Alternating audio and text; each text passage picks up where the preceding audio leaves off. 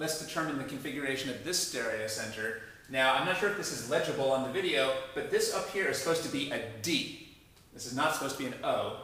Uh, for some reason, I'm having trouble writing the legible D. This is supposed to be a D. Uh, I hope you know what D is, but uh, if you don't, um, I'll tell you. D is deuterium. Okay, um, so try assigning um, R and S here. Well, why don't we actually go through this together, because we haven't talked about this issue yet. Um, so this is the first time that we've dealt with deuterium. Uh, what is deuterium? Well, deuterium is an isotope of hydrogen. So let's think about hydrogen for a second.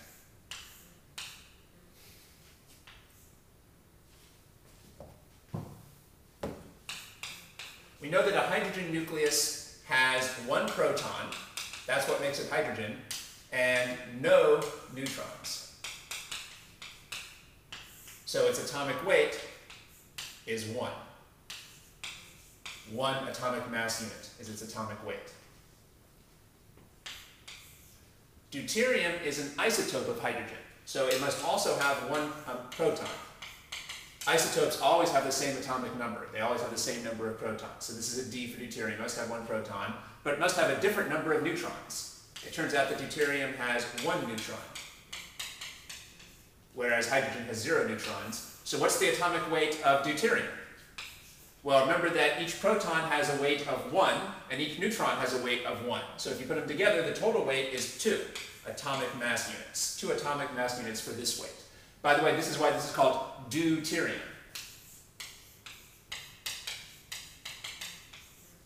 Um, because deut or deut is uh, Greek or maybe Latin for two. Uh, you've probably heard of deuces. Um, those are the twos in a deck of cards. Um, so uh, this DEU here um, is some ancient language for two. Well, this is called two.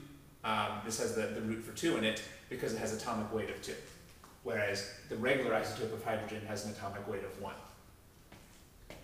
Now, going back to here, it's clear that the iodine gets the number 1 priority. Well, actually, maybe it's not clear yet. So, where does deuterium come in priority-wise? How can we determine the priority for deuterium?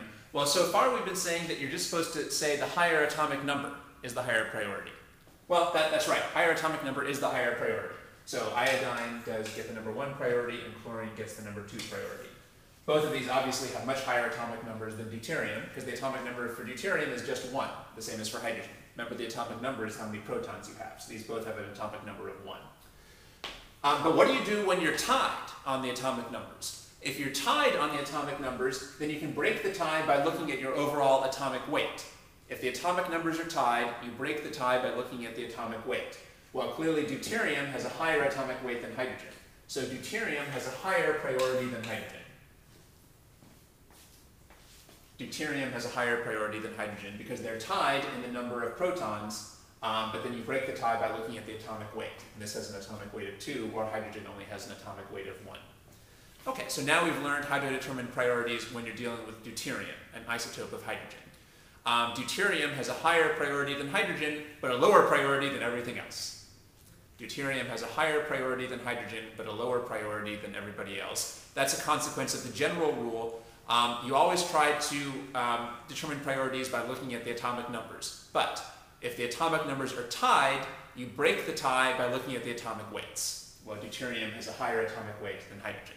But deuterium is going to have a lower priority than anything besides hydrogen because deuterium has a lower atomic number than everything besides hydrogen. Deuterium has an atomic number of 1, and everything else has a higher atomic number.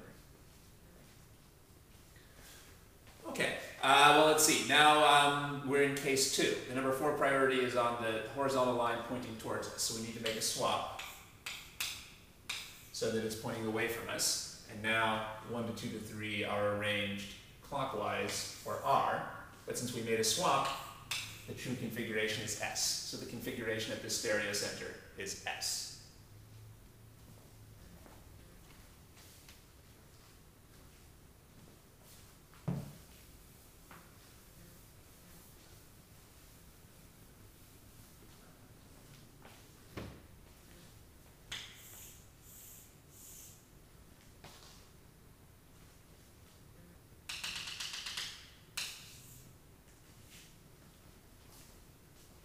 Uh, now, once again, what I'm trying to draw here is a D. I hope that you can see that this is a D for deuterium. try to determine whether this is R or S.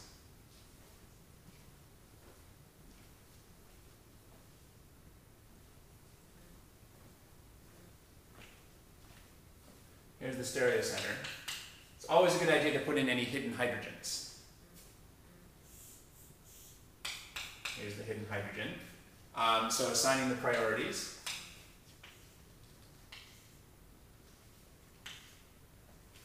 Well, deuterium and hydrogen are definitely both inferior in atomic number to these two carbons. So these are going to be the 3 and the 4. But who gets the 3 and who gets the 4?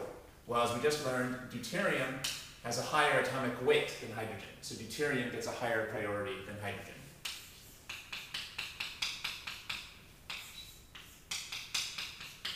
We can see that the right-hand carbon gets the top priority and the left-hand carbon gets a lower priority.